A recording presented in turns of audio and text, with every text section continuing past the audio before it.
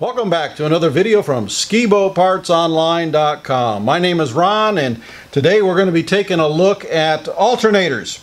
Uh, today in the shop we have a Super Air Nautique, a late model uh, wakeboard boat and during our routine maintenance uh, changing a pump impeller we had the, the serpentine belt off and it's always a good practice to take that alternator pulley and with the belt off spin this pulley and listen and if it sounds like a bunch of gravel rolling around inside there, you know those bearings are shot. And that's what we have today. We have an alternator. Uh, the factory original alternator is a 2011 model boat where the bearings are shot. This alternator needs to be replaced. Uh, this is a, uh, a 95 amp alternator uh, rated at its maximum capacity 95 amp. And we're going to replace this alternator with something that's new and different. Uh, something that's uh, hopefully going to improve the, uh, the, the engine life and battery life of this boat. So uh, if you like these videos, remember at the end to uh, subscribe and click the like and all that good stuff. You know what to do on YouTube videos. Uh, we'd appreciate that. And so let's get into this replacement and upgrade and, and try to explain the differences of what we're looking at here. All right, guys, we're going to try to show you the, or try to see if we can listen to these bearings on this old alternator and see if you can hear them.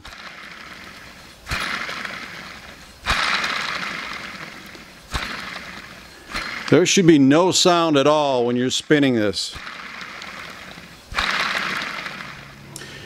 Okay guys, uh, our new alternator has arrived. Uh, but before I get into that, I want to first explain this is not a video on how to change an alternator. Uh, that's pretty straightforward uh, mechanical stuff. Uh, this is more about why we are upgrading to a more expensive alternator. What are the features, what are the benefits, and why are we doing this? Uh, we know we've got a bad one on this boat, the bearings are shot, but uh, one of the uh, common problems on today's or modern wakeboard boats especially is the electrical loads that the boat has on them. You've got uh, ballast pumps. You've got bigger stereo systems. Of course, we have EFI motors that draw more current. Uh, there are just more pumps. You know, the old ski boats, my old ski boat's got a 35 amp alternator and that's more than adequate because it's there's nothing to run except a carbureted motor. Uh, these boats have got uh, dual fuel pumps that are running constantly when the engine's running. Um, multiple pumps. Uh, so the 95 amp alternator that's gone bad on this one uh, you may think is adequate but this guy here is already on another set of batteries. Uh, why are they why do they eat batteries? Why are new boat companies looking at installing these high powered alternators on, on the newest models? Uh, because the 95 amp alternator just isn't enough to keep a dual bank battery system charged uh, under typical operations. Uh, so Balmar has come out with an alternator that puts out 170 amps.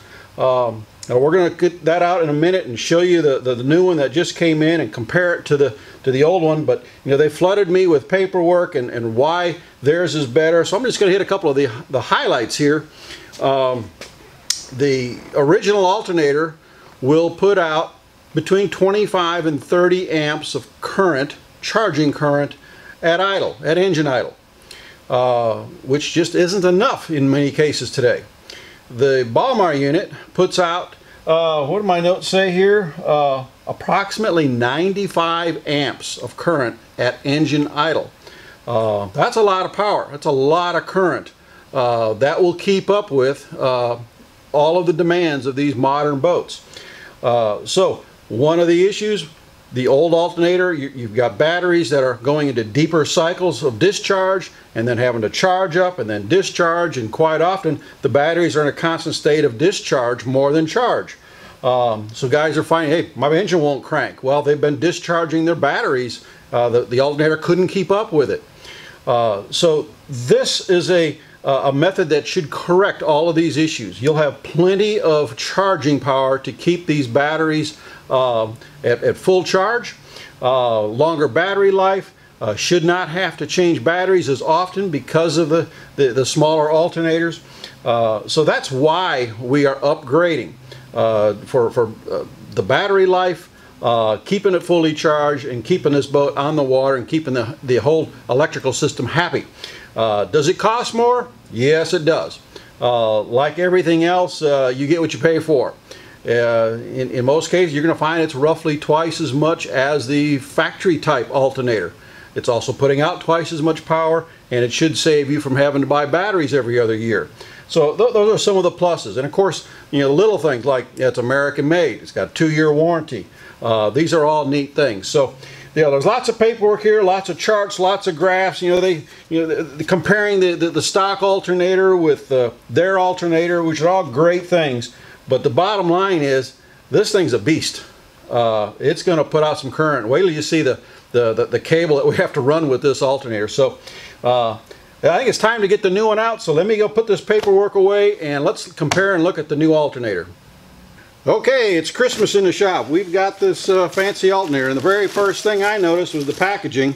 Uh, this box came inside of another box, but we've got nice uh, foam packaging and uh, to protect this. Every, every other alternator I've had come in the shop was in a plain uh, box and uh, so I'm impressed with the packaging. Next thing, it's pretty red. I mean, I mean, how how pretty can an alternator be? Actually, no matter what color it is. But so we're going to take a quick comparison. set these guys side by side. And the first thing I had done was go ahead and check the pulleys. Pulleys are the same diameters, serpentine belt. That's a direct match. Of course, this one spins nice and quiet. would expect that. The uh, OEM alternator has a single ear uh, with a threaded hole for your bolt to attach. This one has uh, multiple holes. Course, we have the hole that's threaded where we need it. I'm sure that's for other applications. Uh, the opposite side is a, a, two inch foot on the old and we have a two inch foot on the new one with a, uh, a machine sleeve that could be removed if it only needed the one inch mount. So they got some versatility there. That's cool. Um, wiring is the next thing we want to look at. The old one has a, uh, a four pin plug of which we're only using two of the, the pins for. The, uh, the new Balmar has a, uh, a short adapter that goes to the matching plug just like we need with the two pins and I'm sure this is for multiple applications so that's cool so we have some versatility uh, with this alternator. Uh, the next thing that I noticed that was uh, substantial is the stud where we're going to attach the uh, battery charging cable, uh, it's substantially heavier duty. It has a, uh, well, it looks like a 9 16 boss on here where you can actually put a backing wrench to, to tighten this, make sure it's good and tight. The factory one doesn't have that. So, so that's cool. So we're going to get this one out of the way. The, uh, the next thing is very critical and uh, is a must. This is a must. The original alternator, I'm going to set this down, I don't want to drop this guy, um, came with this charging cable. This went from the, the alternator to the battery post on the starter. Uh, this cable here looks to be a uh, looks like a number six wire relatively small it does have a 100 amp built-in one-time fuse which is not serviceable uh, but this goes from the alternator to the uh, starter post or, or battery cable at the starter post. You cannot reuse this. This must be changed. You cannot push 170 amps through this little wire uh, and expect it to hold up without causing a lot of smoke or worse. Uh, so, when you've got this 170 amp alternator, which puts out, remember, 95 amps at idle, uh, maximum capacity at idle, you need the heavier cable. So we're going to sell this with a replacement charging cable. Um, this is huge. If you look at the difference, and I, I think the camera is going to pick up this difference here. Uh, this is number two charging cable versus number six. And it's it's massive. Uh, I hope the camera can, can, can see the difference there, but it, it's a big difference. Um, the opposite end the end that goes to the starter has a uh, 250 amp fuse in line. Uh, and this one actually is uh, repairable or replaceable if you had to replace it. So the cable must be changed. That's critical. So um, I think that covers the new alternator. Uh, we're going to go ahead and install this and then we'll show you the installation when it's completed. Um, but uh, uh, this is the new Balmar alternator. Uh, it's, it's pretty. Okay, again, this is not a how to install video, but this is the new XT alternator uh, as installed on this PCM engine. Well, someday somebody will show me how to do a proper screenshot, but this is my laptop inside the boat. Uh, I wanted to kind of prove to myself and also uh, uh share with you. Uh, this is an actual readout of the uh, operating hours on this particular engine. And the top line indicates the hours at the idle range, 600 RPM range. Uh, this boat has just over 100 hours. It's only got 247 hours total.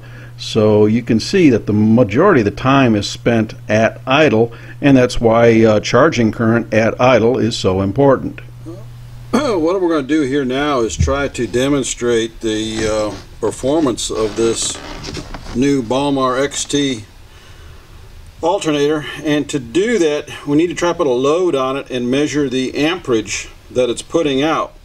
So here is battery one in this boat. The large clamps are part of the, uh, the load cell that we're going to put a load on the battery. Uh, this device here is a shunt that is uh, there for this new Balmar gauge to work. This is going to actually allow us to measure the amperage that the alternator is putting into the battery.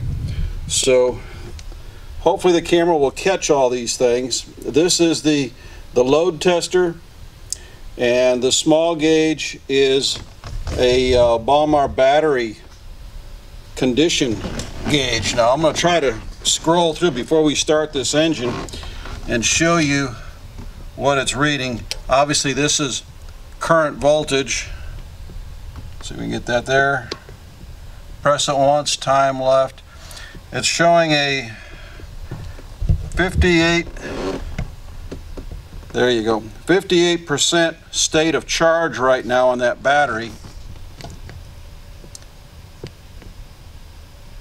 And right now we're showing that it's actually uh, not discharging or charging. The amperage flow is zero through the shunt right now. Of course the engine is off.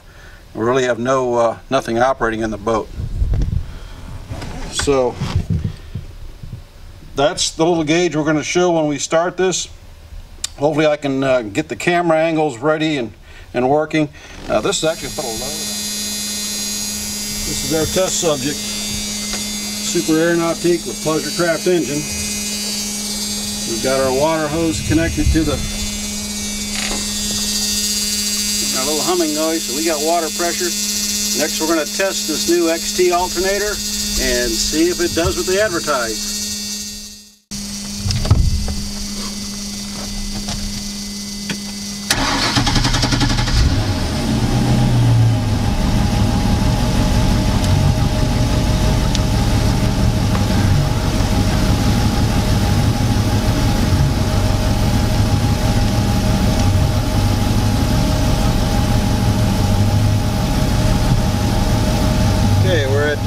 Started at 58.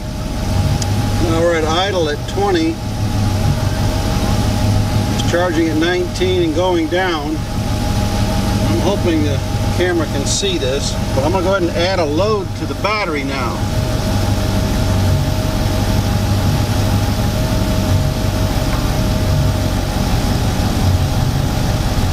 Okay. There's a 100 amp load. That alternator is putting out 84 amps, 97 amps right now. 97 amps. Me take the load off. The load only wants to... This is a battery testing load, so it, it's telling me to get off the load here pretty quick. So the load is removed. Right now we're charging at 17 amps. And when I add load to it, we're going to go up to a 100 amp load or maybe a little more and see what it does.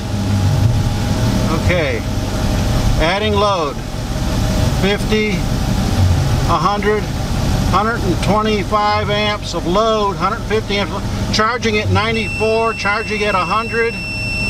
We're charging at 100 amps. Take the load off. Voltage regulator on the XT alternator seems to be working fine. Now we're charging at 18. So I'm going to go ahead and uh, check to see if you can, oh, here's some cloud cover. Maybe we need some cloud cover to see it better.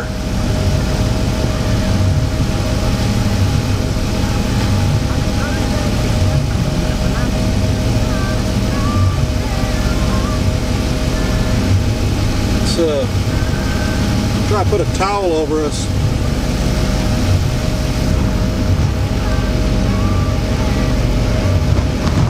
Going to do this again.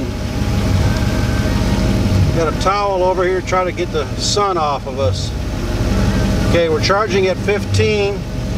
Now I'm going to add a 100 amp load. 100 amp load is introduced, 83 amps charging, 88 amps charging, 92 amps charging. Our load tester says our battery is tested, so I'm going to take the load off. See that this is the load. This is the amount of charge that the alternator is putting back into the battery. So this uh, this alternator is definitely packing a punch. Well, that was our sneak peek at the new Balmar XT series alternator designed for the wakeboard ski boat industry. Uh, I was impressed with the performance. Um, it's a good looking unit and well made. Um, I, I, think you would be impressed with it. We certainly were. So if you like this video, uh, you know what to do. Click the little uh, subscribe button on the on the screen uh, and like us. Uh, we appreciate that, and we'll continue to produce more uh, how-to videos for the ski boat world. Thank you, and God bless.